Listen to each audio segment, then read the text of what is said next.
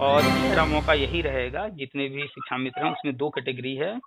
एक तो वो है जो स्टेट या सीटेट पास कर चुके हैं प्राइमरी का और हाँ दूसरे वो हैं जो नहीं कर पाए हैं पास है। जैसा कि कोर्ट ने कहा था दो मौके देने को दो दो मौके हो चुके हैं पूरे। हाँ और जो तीसरा मौका देने की बात कही गई है वो तीसरा मौका वैसा नहीं होगा। शिक्षा मित्र उनको दुरुस्त बीटीसी कराया गया है। जी। और ये आप लोग प्राइमरी के लिए एलिजिबल हैं चाहे वो राज्य का हो भर्ती या फिर केंद्र का हो। दोनों में आप जो है आवेदन कर सकती हैं। नमस्कार आप सभी का स्वागत है हमारे YouTube channel TET pass all पर। हेलो। हेलो सर नमस्कार। हाँ नमस्ते। ठीक। हेलो। हाँ बोलिए। हाँ जी। सर मैं ऋषि चौहान बोल रही हूँ। हम्म हम्म बताइए। सर मेरे से ना आपको एक क्वेश्चन था मेरा कि हम जैसे कि शिक्षा मित्र हैं हम्म हम्म, और मेरा सीटेट भी क्लियर है और मतलब जो उसकी रिक्वायरमेंट है जैसे कि ट्वेल्थ में फिफ्टी परसेंट मार्क्स होने चाहिए वो भी है। क्या हम लोग इसके लिए हैं? कर सकते हैं उसको? के में पीआरटी के लिए। हाँ केंद्रीय विद्यालय जो वैकेंसी है प्राइमरी का उसमें सीटेट और बीएड या डीएलएड या फिर बीटीसी वगैरह जो भी किया है तो जी। कोई भी अप्लाई कर सकता है। तो आप अ, शिक्षा मित्र हैं आप लोगों को कराया गया है दूरस्थ बीटीसी है ना? हाँ हाँ जी हाँ जी। हाँ तो दूरस्थ बीटीसी प्राइमरी टेट या सी टेट देने के लिए एलिजिबल है। और जी। आपने दिया है सी टेट आप ऑलरेडी पास हैं और जो जो शर्तें हैं वो सारी पूरी कर रही हैं तो भर सकती हैं बिल्कुल। हाँ जी बस मेरे मन में यही कंफ्यूजन था सर कि जैसे कि हमारी दूरस्थ शिक्षा है ना ये दूरस्थ की हम्म। की हुई है हमने शायद मुझे इससे कोई फ़र्क ना पड़ता हो इसलिए कंफ्यूज थी। हाँ कोई रेगुलर पढ़ाई करे या फिर प्राइवेट करे या फिर दूरस्थ माध्यम से करे सब इक्वल हाँ। है। ठीक है? हाँ जी। जी सर। डिफरेंस तब आता है जब वहाँ पर जो कहा जाए जैसे कि सीटेट आप देखेंगे वहाँ साफ़ साफ़ लिखा है दो वर्षीय कोर्स ठीक है? हाँ जी। हाँ तो जी। अब जैसे एन आई डीएलएड वाले हैं तो वो उसके अंतर्गत नहीं आते हैं। लेकिन जो अन्य डीएलएड है या बीटीसी। है या दूरस्थ बीटीसी है ये सारे हाँ को दो साल के कराए गए हैं और ये एलिजिबल हैं। तो आप लोग का जितने भी शिक्षा मित्र हैं उनको दूरस्थ बीटीसी कराया गया है। जी। और ये आप लोग प्राइमरी के लिए एलिजिबल हैं चाहे वो राज्य का हो भर्ती या फिर केंद्र का हो। दोनों में आप जो है आवेदन कर सकती हैं। तो अभी जो केवी का आया है उसमें देख लीजिए परसेंटेज जो आप बता रही हैं क्या मांगा है इंटर वगैरह में वो सारे अगर हाँ। आपके हैं तो आवेदन कीजिए कोई दिक्कत नहीं है। और सर जैसे कि कुछ लोग मतलब जैसे कि मिस गाइड भी कर रहे हैं कहते हैं कि यहाँ पे नहीं लिस्ट मिलेगी आपको इधर जाना पड़ेगा मिजोरम वगैरह इधर साइड में भेजेंगे आप लोगों को अगर हो भी जाता है बाई चांस देखिए पूरी पूरी भर्ती जो है वो करीब साढ़े छः हज़ार प्राइमरी में पद हैं और ये पूरे भारत की है। ठीक है? जी तो जी अ, जब आपका रिज़ल्ट निकल जाएगा आप सिलेक्ट हो जाएँगी तो। केंद्रीय विद्यालय पूरे भारत में है तो वो कहीं भी आपको दे सकते हैं। ठीक है? अब वो आपको उस वक्त ज्वाइनिंग के वक्त तय करना होगा कि मान लीजिए अगर आपको मिजोरम दे ही रहे हैं तो वो आपके हाथ में है कि आपको नौकरी करना है या नहीं करना है। ज़बरदस्ती तो हाँ आपको भेज नहीं तो देंगे और कोई हाँ ज़रूरी कोई ज़रूरी नहीं है कि वो मिजोरम ही देंगे। हो सकता है आप यूपी की हैं यूपी के अंदर ही मिल जाए। हो सकता है गाँव में मिल जाए हो सकता है शहर में मिल जाए। हम्म। हो सकता है यूपी के अगल बगल कोई और दूसरे राज्य में मिल जाए। कुछ भी वो तो जब रिज़ल्ट निकलेगा उसके बाद जब सीट दिया जाएगा कहाँ पर नियुक्ति दे रहे हैं वो तो तब होगा और वैसे महिलाओं को बहुत दूर नहीं भेजते हैं। और हम्म। एक क्वेश्चन और था। एक क्या मतलब जैसे कि इंग्लिश जो हमारी लैंग्वेज है क्या इसका उपयोग ज़्यादा है वहाँ पे? इंटरव्यू वगैरह देते हैं। कहाँ पर? मतलब जैसे कि इंटरव्यू होता है इसमें इंटरव्यू और डेमो दोनों ही होते हैं। हम्म तो उसमें क्या मतलब इंग्लिश में हम परफेक्ट होना ज़रूरी है या हिंदी में भी कर सकते हैं? एक मिनट एक मिनट। इंग्लिश हिंदी संस्कृत उर्दू तमिल कन्नड़ ये सब सिर्फ़ एक भाषा है ठीक है? हाँ और भाषा क्या होता है अपने मन के विचार या भाव जो कुछ भी हमारे अंदर है उनको व्यक्त करने का एक माध्यम है। हाँ इससे ज़्यादा कुछ भी नहीं है। तो किसी को भी बहुत ज़्यादा महत्व देने की ज़रूरत नहीं है। ऐसा नहीं है केंद्रीय विद्यालय नवोदय विद्यालय में इंग्लिश को बहुत ज़्यादा या आई में इंग्लिश को बहुत ज़्यादा महत्व दिया जा रहा है। भाषा आप जिसमें कंफर्टेबल हो जिसमें आपको लगता हो कि आप अपनी बात अच्छे तरीके से रख सकती हैं इंटरव्यू में उसी भाषा का प्रयोग करना चाहिए। अगर आपकी भाषा हिंदी है और आपको हिंदी में कॉन्फिडेंस है कि हम हिंदी में अपनी बात अच्छे से कह सकते हैं तो हिंदी का ही प्रयोग कीजिए। ऐसा कोई बाउंड्री नहीं है कि इंग्लिश में बोलना ज़रूरी है। ठीक है? तो ये जो लोग तरह तरह की बातें करते हैं उन पर मत जाइए। आप भाषा चाहे कोई प्रयोग कीजिए जिसमें आपको कंफर्टेबल फील हो जिसमें आपको लगे कि हम अपनी बात आराम से कह सकते हैं। अब ऐसी भाषा का क्या मतलब है कि हम सीख तो लिए लेकिन अपनी बात को हम रख नहीं पा रहे हैं। तो जब हम सामने अपनी बात रखेंगे नहीं जिस जिसके सामने रखना है वो हम जब रखेंगे नहीं वो समझ ही नहीं पाएगा तो फिर वो किस बेस पर आपको जो है जज करेगा? जी सर तो नहीं बोल रहे ना वो है ना कोई कुछ बोलता है कोई कुछ बोलता है इसलिए मिसगाइड हो जाता है फिर। नहीं नहीं। अगर आपको लगता है कि आप इंग्लिश अच्छी बोल सकती हैं आप इंग्लिश में फ्लुएंट हैं तो आप इंग्लिश पर जाइए। अदरवाइज़ आप बिल्कुल भी प्रयास मत कीजिए। आप जैसे घर में बात करती हैं जैसे अभी फ़ोन पर बात कर रही हैं हम लोग जैसे बात करते हैं कि नॉर्मली हिंदी बोलते हैं लेकिन हिंदी में हम लोग अपने इंग्लिश के वर्ड्स भी यूज़ कर लेते हैं। हाँ जी। तो कोई दिक्कत नहीं है आप ऐसे बोलिए कोई दिक्कत नहीं है। आप या तो शुद्ध हिंदी बोलने की कोशिश करेंगी तो दिक्कत होगा। आप इंग्लिश नहीं हाँ बोलती हैं और इंग्लिश बोलने की कोशिश करेंगी तो भी दिक्कत होगा। तो हाँ दोनों ही प्रयास नहीं करना चाहिए। बहुत सारे लोग इंटरव्यू वगैरह में जाते हैं हिंदी भी बोलते हैं तो लगते हैं ऐसे ऐसे शब्द खोज करके बोलने शुद्ध हिंदी। शुद्ध हिंदी भी नहीं। कोई ज़रूरत हाँ नहीं है। पढ़ा आपको पढ़ाना है ठीक है? या किसी से बात करना है तो वो क्या है? अपनी बात सामने वाले तक पहुंचाना है। जिस भाषा में वो समझ जाए जो शब्द चुनने से उसको आसानी से समझ में आ जाए। हम ऐसे शब्द हाँ चुन लें जो सामने वाला उस शब्द को जानता ही ना हो। मतलब ही ना समझ हाँ पाए फिर क्या मतलब?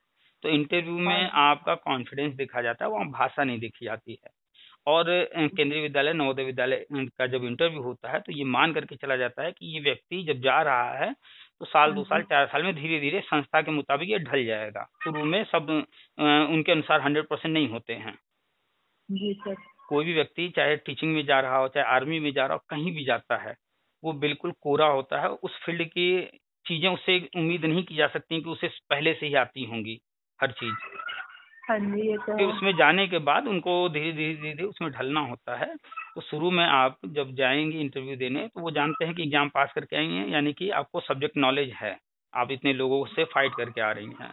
आपने सी टेट पास किया आपने जो एग्ज़ाम होगा वो एग्ज़ाम पास कर लिया इंटरव्यू में गई तो वो आपका देखेंगे कि आप अपनी बात को कितने सहज तरीके से रख पा रही हैं। कॉन्फिडेंट हैं कि नहीं हैं? आप अपनी बात के लिए एग्जाम्पल्स वगैरह दे पा रही हैं नहीं दे पा रही हैं? इजी किसी कठिन विषय को आसान बना पा रही हैं कि नहीं बना पा रही ये सब चीज़ें चेक करते हैं। ठीक है तो सारी बातें सबके छोड़ दीजिए। पूरे भारत में कहीं भी भेज सकता है। उसके बाद आप डिसाइड कीजिएगा कि जाना है कि नहीं जाना है। वैसे जो मिजोरम वगैरह की बात हो रही है तो अभी केंद्रीय विद्यालय पिछले कुछ सालों से नॉर्थ ईस्ट का अलग से भर्ती लेके आने लगा है। नॉर्थ ईस्ट में उधर की वैकेंसी अलग से निकालने लगा है और उसमें जो लोग क्वालिफाई करते हैं उनको पूरी लाइफ नॉर्थ ईस्ट में ही रहना है। अगर पूरी लाइफ हाँ वो वैकेंसी अलग से आती है स्पेशल होती है नॉर्थ ईस्ट के लिए। कि अगर मान हाँ लीजिए कि नॉर्थ ईस्ट में सात राज्य हैं उन सातों में से कोई व्यक्ति वहाँ का अगर नौकरी पा जाता है तो वो उन सात राज्यों में कहीं भी रहेगा। अब अगर यूपी वाला पा जाएगा वहाँ पर बिहार वाला पा जाएगा एमपी वाला, राजस्थान वाला वहाँ पा जाएगा। तो अब ये सोचिए कि नॉर्थ ईस्ट छोड़कर उन सात राज्यों के अलावा हमें कहीं और मिल जाए तो उसमें नहीं मिलेगा। लेकिन ये जो है ओपन है। इसमें पूरे भारत में कोई भी राज्य आपको मिल सकता है। और ट्रांसफ़र की भी वहाँ पर नीतियाँ बनी हुई हैं, दो साल बाद ट्रांसफ़र देते हैं। अगर हो भी गया तो भी आप नौकरी ज्वाइन कर लेंगी। एक साल, दो साल जो है, वहाँ आप अपना इंजॉय कीजिए।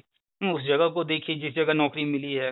कश्मीर मिल जाता है कश्मीर जाइए मणिपुर मिल जाए मणिपुर जाइए मिजोरम जाइए दुनिया घूमिए बहुत सारे लोग केंद्रीय विद्यालय और या केंद्र की नौकरियाँ इसलिए करते हैं कि कम से कम अलग अलग राज्य उनको घूमने को मिल जाएगा। भारत देखने को मिल जाएगा वहाँ रहेंगे अपना काम करेंगे दो दिन चार दिन की जो छुट्टियाँ होंगी आसपास घूमेंगे। हम खुद रहे हैं नागालैंड में तीन साल। तो वहाँ जब रहे हैं तो लगभग वहाँ पर चार पाँच राज्य हम घूमे हैं वहाँ का देख चुके हैं। तो कहीं आप रहेंगी वहाँ कमा रही हैं तो वहाँ उस जगह पर रह करके उस जगह को जानना आसान हो जाता है। और ऐसे घूमने कहीं जाएँगी एक दिन दो दिन चार दिन के लिए जाएँगी मुख्य मुख्य जगह देखेंगी चली जाएँगी तो अच्छी बात है ना हाँ घूमने को मिलता है। नहीं सर देखते हैं प्रयास तो कर रही हैं कि हम निकल जाए इस भर्ती में पढ़ाई तो जारी कर रखी है हमने। हाँ अब देखते हैं आगे क्या होता है सर। सबसे पहले इम्पोर्टेंट है फॉर्म डालना। आप सारी जो है उसके एलिजिबिलिटी क्राइटेरिया जो है उसे कंप्लीट कर रही हैं। फॉर्म डालिए तैयारी कीजिए एग्ज़ाम दीजिए। ठीक मैं है? फॉर्म डाल देती अब तक की लेकिन मेरे मन में यही कंफ्यूज मतलब जैसे कि मैं पूछा था कि कई लोगों से पूछा है कि वो लोग यही बोल रहे थे कोई कुछ बोल रहा था कोई कुछ। फिर मैंने आपको मैसेज डाला था मैं सर से पूछती हूँ सर एक हम्म। चीज़ सही बताऊँगे बिल्कुल। हम्म तो आप फॉर्म डाल दीजिए एग्ज़ाम दीजिए दो ही चीज़ होगा या तो होगा या तो नहीं होगा। नहीं नहीं होगा तो हाँ एग्ज़ाम एग्ज़ाम देने से अनुभव होगा आपको जानकारी होगी कैसे क्या होता है कोई नहीं जब वो तो ईश्वर हम लोगों के भी हाथ में और ईश्वर के भी हाथ में क्या होता है क्या नहीं होता है। लेकिन ये हम पढ़ाई के टच में हो जाएँगे हम्म। हाँ इस पढ़ाई इसी बहाने आपकी पढ़ाई होगी तैयारी होगी। हाँ जी तैयारी हो जाएगी हो जा। हो जाता अगर है। अगर यूपी में भी कुछ होता है तो उसके लायक तो हो ही जाएँगे ना। यूपी में तो हो रहा है बस ये है कि वो सामने आने का वक्त अब आ रहा है करीब अब आएगा सामने अभी तक सामने नहीं था। अब आने जा रहा है जैसा कि कोर्ट ने कहा था दो मौके देने को तो दो मौके हो चुके हैं पूरे। हाँ और जो तीसरा मौका देने की बात कही गई है वो तीसरा मौका वैसा नहीं होगा। जब दो मौके देने की बात कही गई थी तो क्या आप लोगों ने उम्मीद किया था कि कैसे दिया जाएगा? नहीं जब सुपर डेट वगैरह आया तो अरे ये क्या है? तब नई चीज़ आई सामने। तो अभी तीसरा मौका लोग उम्मीद कर रहे हैं जैसे अभी तक दिया गया है दो मौके वैसे दिया जाएगा। नहीं फिर से जो है नई चीज़ सामने आने जा रही है जो हम बताते रहते हैं। तीसरा मौका यही रहेगा। हाँ? इंटरव्यू डेमो वाला। इंटरव्यू डेमो होगा नहीं होगा ये हंड्रेड परसेंट अभी फिक्स नहीं है। क्लियर नहीं है। होना है जो हम बताते हैं वो सारी चीज़ें होंगी हंड्रेड परसेंट। लेकिन इंटरव्यू होगा ही होगा ये सौ परसेंट नहीं कहा जाता लेकिन फिर भी फिफ्टी परसेंट मान करके चलिए और पढ़ाई जारी रखिए। और तीसरा हाँ मौका यही रहेगा जितने भी शिक्षा मित्र हैं उसमें दो कैटेगरी है। एक तो वो है जो टेट या सीटेट पास कर चुके हैं प्राइमरी का और हाँ दूसरे हाँ। वो हैं जो नहीं कर पाए हैं पास तो जो पास कर चुके हैं वो प्राइमरी में पढ़ाएँगे class three class four class five को। और जो पास नहीं कर पाए हैं वो वन टू में ही रहेंगे वन टू को ही पढ़ाएँगे लेकिन वो प्री प्राइमरी में वन टू अब जा चुका है। तो हाँ तो वो वहाँ के अनुसार उनको पेमेंट वगैरह सैलरी वगैरह मिलेगा। थोड़ा सा डिफरेंस होगा पाँच छः हज़ार सात हज़ार जो भी डिफरेंस हो। अगर प्राइमरी में मिल रहा है पैंतालीस तो वहाँ मिलेगा चालीस अड़तीस ऐसे कुछ रहेगा। लेकिन लगभग ठीक ठाक पेमेंट रहेगा तीस पैंतीस के ऊपर ही रहेगा प्री प्राइमरी में भी। जी सर चलो वो भी है जो जिन जो लोग क्लियर नहीं कर पाए उनका भी भला हो जाएगा सर हम्म। चलिए और कुछ? नहीं सर आपको बहुत बहुत धन्यवाद। आपने इतना कीमती समय हमें दिया सर। वेलकम मैं बहुत हम्म, हो रही थी वो पता नहीं भरा जाएगा नहीं भरा जाएगा। जबकि मैंने जो लोग फॉर्म डालते हैं इनसे साइबर वालों से मैंने कंफर्म भी किया था तो वो बोले थे कि अभी हमने डाला ही नहीं अभी किसी साइबर डाला ही नहीं साइबर कैफ़े साइबर कैफ़े जो चला रहा है या तो वो पढ़ा लिखा व्यक्ति होगा या तो वो पढ़ा लिखा व्यक्ति नहीं होगा अगर पढ़ा लिखा होगा तो कोई ज़रूरी नहीं है कि वो शिक्षा के क्षेत्र की जानकारी रखता नहीं हाँ वो सारी जानकारी थोड़े ना रखते हैं बस वो हाँ। बोल रहे थे की लड़के आए थे उसके पास लोग खुद फॉर्म डाल के गए मैंने नहीं डाला फॉर्म किसी का तो इसलिए। पूछिए उनसे पूछना है पूछ लीजिए लेकिन पूरी तरह भरोसा नहीं किया जा सकता उनके ऊपर कि वो सही जानकारी रखते होंगे। हाँ जी इसलिए तो सर आपकी बातों पे हमें पूरा भरोसा है इसलिए हमने आपको मैसेज छोड़ा था सर। हाँ। और इससे अब हमें संतुष्टि हो गई कि हम कर सकते हैं। हाँ हम हाँ चूँकि। इसी फ़ील्ड से हैं इसी फ़ील्ड के बारे में हाँ हमेशा बात करते रहते हैं इससे संबंधित हर चीज़ जानकारी देते रहते हैं। तो हाँ हमारी जानकारी में जो भी आता है तो कोशिश अपने तरफ़ से ही रहता है जो सही जानकारी है वही दिया जाए। अब चाहे वो जानकारी किसी को अच्छी लगे कड़वी लगे चाहे जो भी लगे जो सच है वो बता देते हैं। हाँ जी वो तो है ही। सर जी धन्यवाद आपका। हम्म, हम्म, चलिए ठीक है रखते हैं। ठीक है सर अब हमारी।